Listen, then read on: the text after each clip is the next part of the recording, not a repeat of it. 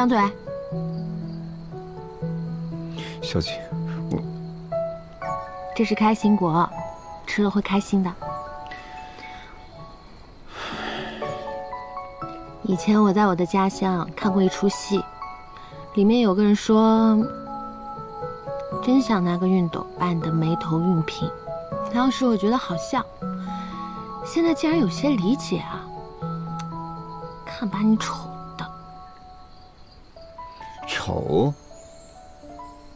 本王哪里扯了？哼！你都不问问我，究竟发生了何事？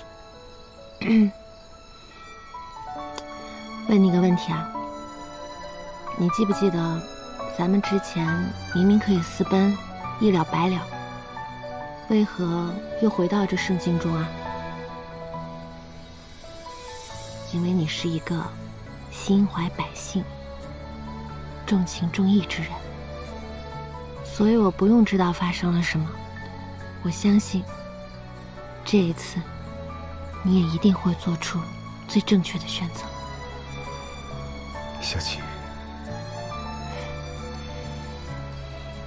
而且啊，不管你的选择是什么，我一定会陪着你，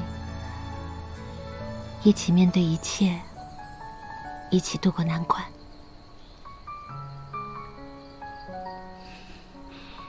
好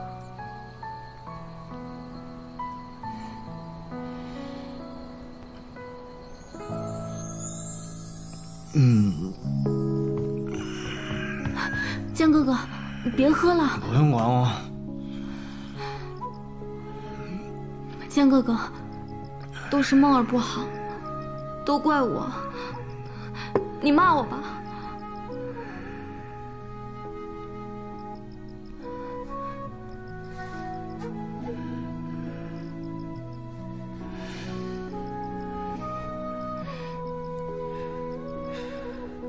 以前我爹总是骂我，说我在外风流，败坏江氏名声。可是我一点都不在乎。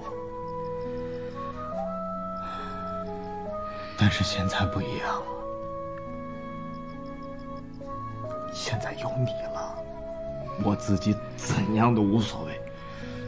但是不能让你跟我一起受委屈啊！我现在。唯一唯一放心不下的，就是梦儿。沈玉，你要珍惜他，好好对他。我答应你，我还答应你爹，要好好照顾你。保护你，可现在江家的产业纷纷遭人诟病，连唐家的产业也牵涉其中，我还拿什么保护你啊？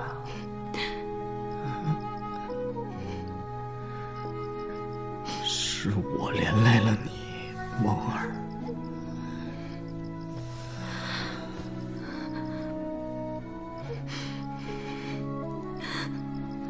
江哥哥，都是梦儿不好，都是梦儿的错。怪我轻信谗言，以为那样，那是在帮你。我